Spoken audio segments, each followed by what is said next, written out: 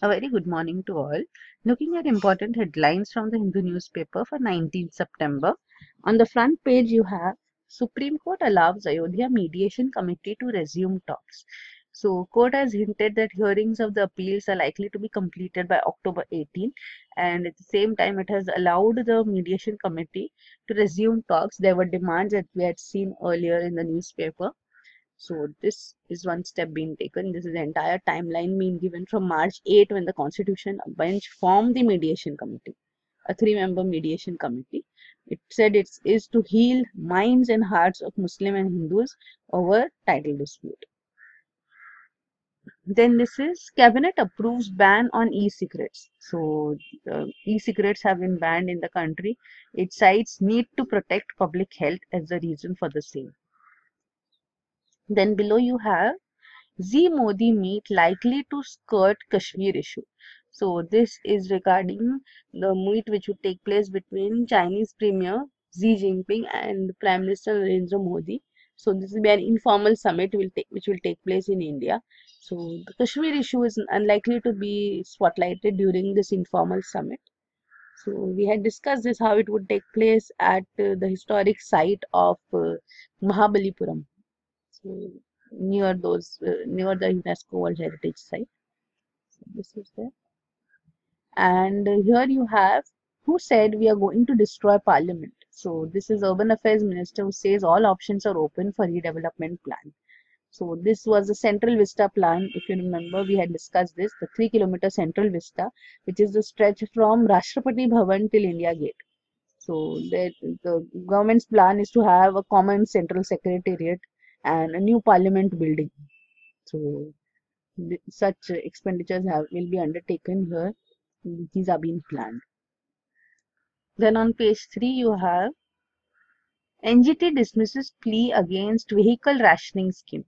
So this is the National Green Tribunal. So there was a petition which, has, which was filed before it that uh, this uh, vehicle rationing system, odd days, odd number vehicles, uh, vehicles with odd number dates will ending with odd number dates will ply, and on even dates in Delhi, vehicles with even uh, end number would ply. So this was the basic uh, government decision in Delhi. So Delhi government had taken this decision, and this has been opposed. The petition claimed that this move had no impact and it had moved the National Green Tribunal that people have been harassed and such claims been made. But National Green Tribunal has dismissed this petition. It has not entertained it. On page 9 you have India is the top source of immigrants across the globe. So this is UN report which unveils that one third of all immigrants come from 10 countries. And these are the 10 countries shown here you can see. India, Mexico, China, Russia, Syria, Bangladesh. These are the top countries. The percentage share of international immigrants, India is at the top. So this. Then this is Bengal governor seeks clarification on bill. So this is the West Bengal uh, Prevention of Lynching Bill 2019, which has been passed by the West, West Bengal Legislative Assembly, and the governor has sent a letter to the Legislative Assembly seeking clarification on this bill. So, so here you can see the details which are being sought is that uh, the bill circulated in the House was not in consonance with the bill in respect of which Governor imparted his recommendation for introduction of the bill in the Assembly in terms of Article 207. So written representation on grave irregularities and legislative impropriety in respect of the bill have been uh, spoken of by the Governor. Then you have below IIM, IIMA denies SC/ST quota for next year's PhD admissions. So Indian Institute of Management Ahmedabad has not made any provision for implementing reservation for historically marginalized social groups in its 2020 PhD program in management. So the staff alumni say that reservation provisions must be honored. On the editorial page, the first editorial is Dangerous Vacuum. So this is regarding the Jammu and Kashmir, how mainstream politicians are being discredited in Jammu and Kashmir. So it says if this happens, then the space will be filled by secessionists. Means mainstream politicians are under house arrest and uh, secessionists are those members who would want to separate Jammu and Kashmir from India.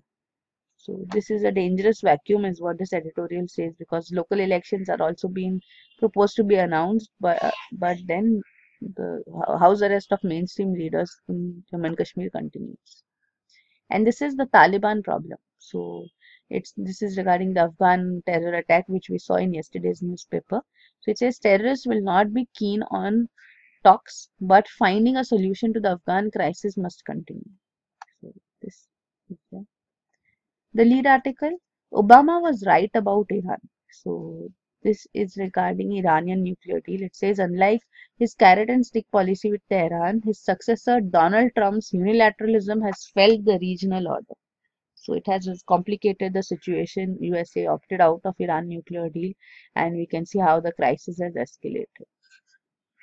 And this is a self-inflicted economic slowdown. So this article says that government has failed to heed recommendations made by economists and bureaucrats on turnaround measures.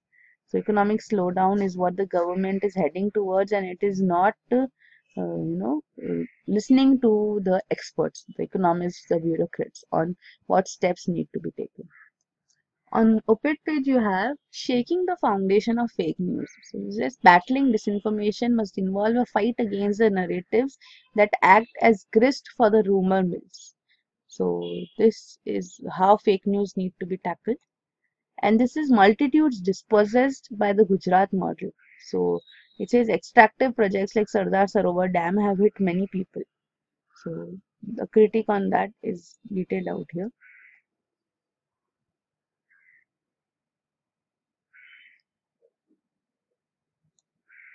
And this is Nigeria's war against wild polio virus approaches a climax. So Nigeria could be declared polio free next year. There are few countries which are still inflicted by polio. Afghanistan, Pakistan being other two countries. India has declared itself free from polio. And now we are seeing wild polio virus strain in Nigeria. So for the world to be free from polio, these countries also need to be freed. On page 12, you have India US to end dogfight over ground handling. So, Civil Aviation Ministry will amend rules after Air India was barred from carrying out operations in America in July.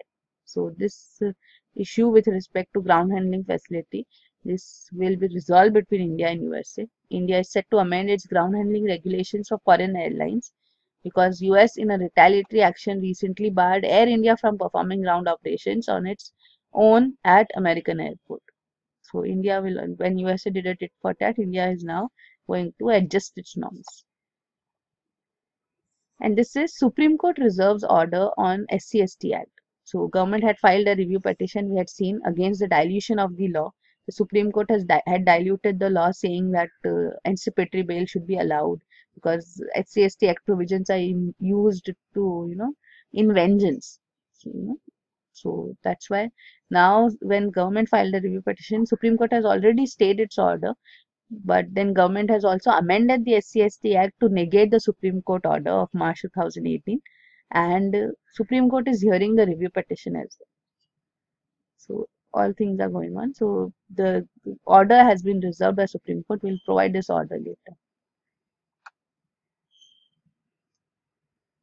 Then this is regarding court seeks MP government's response on reservation. So Madhya Pradesh High Court has sought a reply from the state government within two weeks to a petition challenging its decision to raise reservation for OBCs to 27%. So Madhya Pradesh has increased reservation percentage, but then uh, it crosses the 50% mark. So here you can see OBC's reservation was raised from 14% to 27%. So with 14%, the total reservation was 50 per, around 50%, but now it is 27% reservation. It has exceeded. So the case is before the Madhya Pradesh High Court and government's response is sought on the issue.